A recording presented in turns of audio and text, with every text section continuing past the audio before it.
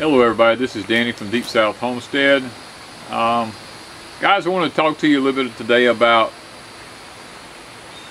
not getting discouraged because it seems like there's a ton of people out there that's getting really, really discouraged. Our emails are just piling in uh, about people having problems with their gardens.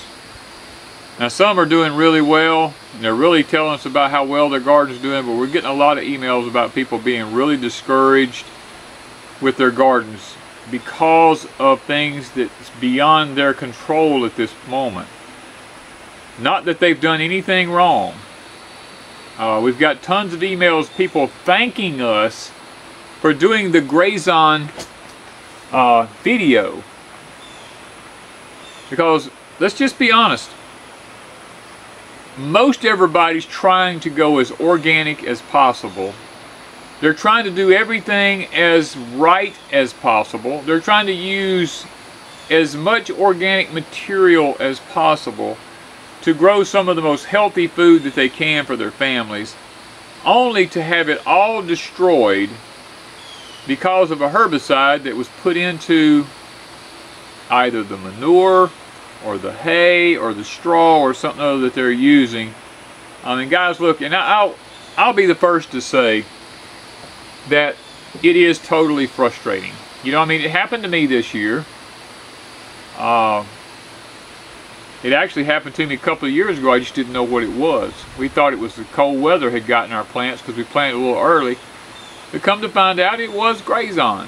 It was 2,4-D weed killer, remedy. All these things are all mixed in together on these hay, and and when the animals eat it, the manure, you know, guys, it just passes through the animals. And some of the things that really bothers me is, uh, we've talked about this in previous videos, is people who are just all hyped up about grass-fed beef, and and I think about Wanda and I were talking about this about uh, all the goats and the cows that eat hay and people using the milk from them. And any of you who know anything about a mother and a child know that a mama can eat something that's really gassy and it goes through her into the baby's milk and the baby gets gassy and ends up with colic and all this different stuff. Animals are no different. If that mama's eating something, you know, that's bad, it goes right on through her into the milk and goes right into that baby. You know, you get a calf or a, or a baby kid goat or something like that, uh, they're all you know, subject to the same problems. So it's easy to get discouraged. It seems like the harder we try to do what's right, the worse it gets. You know, and and I'm guys, some things are just some people don't have a choice. Unless you have lots of land where you can raise your own hay or where you can let your animals free range and not have to worry about bringing in hay or and you can collect your own manure from your farm and you're really self-sufficient in those areas. A lot of us are stuck. I mean my farm here I've sold down to just 10 acres. I was thinking 10 acres would get me by. Now I'm wishing that I hadn't because I really need the extra land back now for grazing and stuff for my cows because I'm having to buy hay. And now I'm having to be really picky about where I get hay from and then when I buy it, I got to buy it in huge quantities to ensure that I get hay that's not chemically tainted. So don't get discouraged. There is hope. And I know what really, I guess what hurts me more than anything else is I see people's letters that they're writing to me or emails. They only have a small spot to garden and they've messed around and got a herbicide in it and now they don't have anywhere to grow. And they're limited on funds these type of things and it can be very discouraging. And for them I do feel their pain. Uh, the only thing I can tell people is is if you end up with raised beds or something in a small urban setting and it ends up with a herbicide chemical like Grazon or Remedy or 2,4-D weed killer or something other gets into it, uh, is to switch over to grow bags because grow bags are not that expensive. And you could set up like I have in my greenhouse here I have concrete blocks with some uh, 2 by 10s or 2 by 12s laid on top of them with pots sitting on top of them you could do that to get yourself by you know to be able to make it but guys it's just it is totally frustrating I mean really our country has just I don't know. I, I have to be careful when I make these videos because I can really get irate about things like Grazon and stuff like that. I, I mean, I can lose it. I can totally lose it because I feel people's pain. I know how I felt in my greenhouse when it hit me. I was like, what? You know, and, I, and it just made me so angry. It took me probably about three weeks just to cool down. And and I don't know that I'm really over it now because I mean I'm still aggravated. Even though I've cleaned the greenhouse up and I've got it out of there and everything, I've, it still frustrates me to know that that people are getting shafted and losing their entire crops because a lot of people spend a lot of money on these uh, plants and vegetables and dirt and stuff like this or loads of compost being brought in only to find out that it's tainted and they can't really use it until they have the chemicals pulled out of it, you know, through sunflowers or corn or any other monocots, grass or whatever uh, that, you know, can pull it out of it. But, guys, there's just, and, and this is not the only thing. We're getting hit now with, with new insects. Now, I did a video here the other day, and uh, I had to go back and actually change the name of the video because I thought I had a stink bug infestation on my tree. Well, it, typically it is a stink bug. And a lot of you subscribers turned me on to the fact that these were kudzu bugs that was on my fig trees. Well, I thought they were just baby stink bugs. But upon deeper research and really catching some of them and getting up close looking at them, it is the kudzu bug. Now this bug was came in here in uh, 2000, I think it was 9 or 12, somewhere along in there, in, into the uh, state of Georgia on a, load, a shipment of stuff from Asia and, and, and now it's done spread through the Carolinas. Now it's headed down into Alabama, and it has made it into southern Mississippi now. Now this is the first year we've actually seen them. We've never seen them before. This is our first year. But it tells me that they're here now. And a lot of us are having trouble. People send me emails about their squash plants, uh, cucumber plants, all this stuff, vine borers hitting their pumpkins or squash uh, squash bugs hitting their squash, pickle worms hitting their squash. What can I do? You know, and they're getting totally just wiped out. You know, man. And we got, I'm telling how many comments and, and, and emails and stuff about, oh my God, the squash plants you're pulling up, throwing away look better than mine ever thought about looking, and you're throwing yours away. You know, and you know, I mean, it is what it is. We had a good year. Uh, we're trying to actively learn how to work around insects and to be able to beat them at their own game, if you kind of want to say it that way. Uh, and, and, guys, I understand the frustration when it happens. And you've got the beautiful squash plants out there, and you come home, and in one day, they're all wilted down, and you lose them by the end of the week. You know, you didn't get any squash off of them, you spent good earned money uh, buying plants or, or starting plants from seeds. You worked with them, got beautiful plants, and got them up and got them going and only to have a bug to hit them. And you know, and we try to do it organically, and, and, a lot of people sending me emails are going like, dude, I'm just using spray. I don't care. You know, and hey, if that's what you need to do, you know, then you need to do it. Uh, we are not. People keep telling us we could use neem oil and all these kind of things. We're not using anything yet. We're not going to unless we just absolutely cannot do it naturally. Now, we may come to that point. I don't know.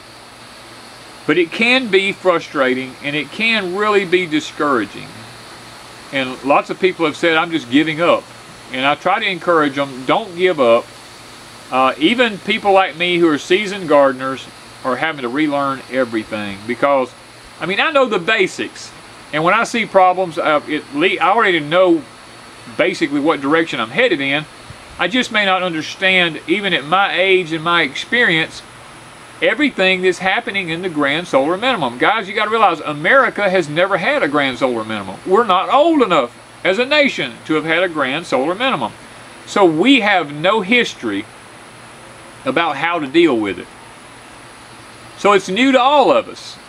And this year, uh, all my stuff is coming in later than it normally would because it stayed colder longer earlier, a lot, stayed colder longer earlier into the spring, and then it lasted later into the spring. And even like I showed in one of my videos just yesterday, the, the dirt in my greenhouse back here is still cold. And that greenhouse gets up to 90 degrees on the inside. But that dirt is still cold because the nighttime temps keep dropping down to into the 60s and right at 70s. So the plants don't know what to do. They're confused. That's just part of the grand solar minimum. And some people, I've got tons of emails telling me, oh, this is a conspiracy theorist thing. God, it is not a conspiracy theorist thing. Uh, the grand solar minimum has, there, there's history to prove that it happens periodically. And we don't have any history of it here. We have to go back to the European nations and stuff like that that are older nations that actually can tell us a little bit about through their history about what went on, uh, what volcanoes were erupting, earthquakes, weather patterns, uh, empires rising and falling and all this kind of stuff. We just have to, you know, we have to go back and, and look at those things because it's new to all of us. This is not something that some of us know a lot about and others don't. Because as a nation, we haven't been through it before. Now we've been through solar minimums, just not a grand solar minimum like we're facing. And I mean, you take like today, right now I'm sitting here, the heat index today is 103 degrees where I'm at here. Yesterday at exactly this same time, it was 77 degrees. Now, is that not a difference? No wonder the plants are confused. Hell, I'm confused and I'm sitting here because of the heat. I want to know why it's that way. It used to wasn't that way, and I realized that it's the, it's the grand solar minimum. It's the weather patterns. And, and man is tampering with it too. I understand the uh, weather anomalies and the weather manipulations and all that kind of stuff, the geoengineering, I understand all that stuff it's very frustrating to uh, those of us who literally depend on our food from our place to survive. Now Wanda and I today, Wanda needed a few little things from the grocery store that were a couple of staple things that we just can't grow here or can't do here. So we went to our local food giant and you have to understand we don't go to a grocery store on a weekly basis. We don't go on a bi-weekly basis. We usually don't go on a monthly basis now. So when we walk into a grocery store, you got to understand, we're used to seeing it like it was, uh, it's been four months since I've been in the grocery store. Okay, I went into Walmart the other day, first time in four months. So we went today to a food giant, uh, first time in four months for me. Uh, Wanda's uh, been one time in, I think we see the difference because we remember what it used to look like and what it looks like now. I'm going to be honest with you. Today, this is uh, June the 25th. Today, in this big store, and in our small town, if 30 people that was preppers walked in that store and each one of them bought two or three, four things of staple items in that store, that store would be cleaned out. Just 30 people. Because everything was brought down into small quantities on the shelves, lots of empty space everywhere. Uh, now the things that were still full were things like tater chip aisle, dollar aisle, uh, beer aisle, you know, junk stuff. Junk food aisles were still packed. Staple goods you know, oatmeal, grits, uh, corn, flour, things like this, uh, regular flour, uh, cornmeal, things of this nature that you would buy, salt, sugars, things like this, oils, were very limited in this store. And Wanda walked out and she said, oh my gosh, I have never seen stores that empty. It looks like it's full, But to someone like us who's been there when it was really full back in January or December of this past year and February, and to walk into it now, all these months later, we see the difference. They have stuff kind of spaced out on shelves. Nothing's in behind them. All everything in behind is empty. And we both looked at each other and said, you know, 30 people could wipe that store out in one day. Literally, wipe it out in one day. And there'd be nothing left in that store but just junk food, tater chips and Fritos and Cheetos and, you know, stuff, ice cream in the buckets and things like that. The staple goods in that store would be wiped out. That was an eye-opener to us. It's already told us we're already headed in the direction of running out of food and people just haven't come to the realization yet. We noticed, we sit and watch the people uh, going and coming from the store. Nobody had any large amount of anything. They all walked out with one or two bags in their hand. Usually you see people coming out with buggies, pushing rounded up buggies full, you know. Didn't see that. Everybody came out toting one or two little bags in their hands. Which means one of two things. Either the store didn't have what the people needed, or people have thrown caution to the wind and said, you know, I'll just run in and pick up a couple things, not worried about it. Tomorrow everything will be there. It'll still be there. It's all going to be fine. COVID's over. Not going to worry about it. And they're not worried about anything. It's, it's one of those two things. I'll assure you of that. But guys, please do not stop growing your own food. And I'm and lots of people are contacting us through emails asking do we have certain seeds? They can't find seeds that they need. Guys I don't have a huge amount of seeds this year.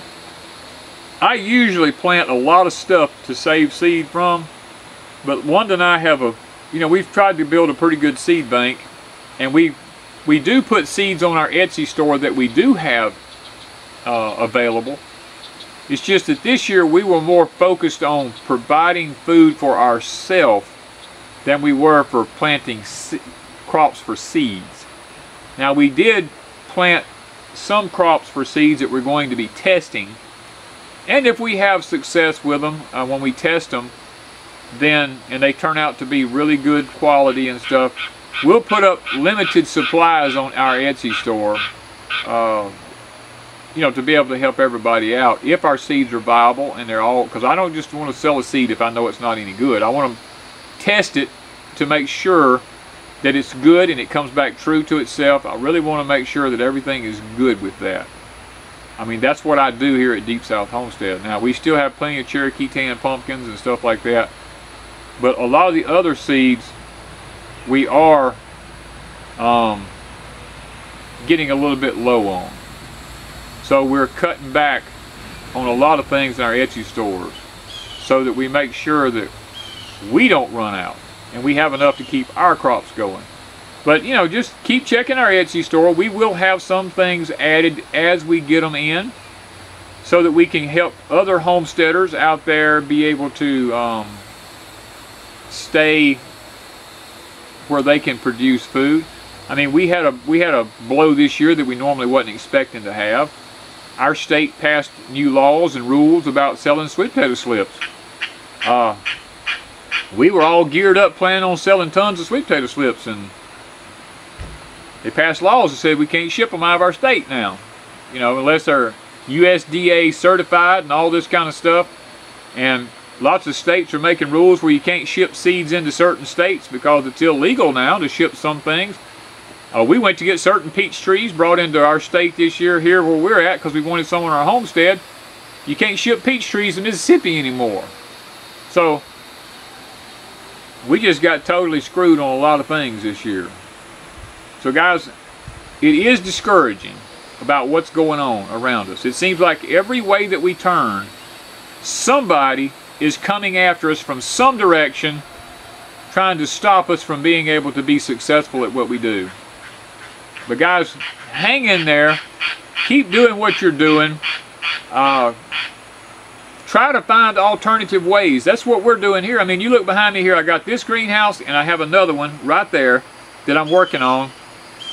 We're moving to growing our fruit trees in greenhouses in one of them and our cool weather crops in one and we're going to do our summer crops in the other one. I mean, we're actively trying our best to create an environment that allows us to be able to grow our vegetables. We proved this year by using this greenhouse right here for fruit trees and summer vegetables that they outproduce anything in the field. I mean, y'all saw, that watch this videos on this greenhouse, y'all saw three cucumber plants that provided us with over 400 cucumbers. We had four plants in the front garden. We had three plants on the hill behind the security cabin. Between the two of those plants, we might have got 15 cucumbers.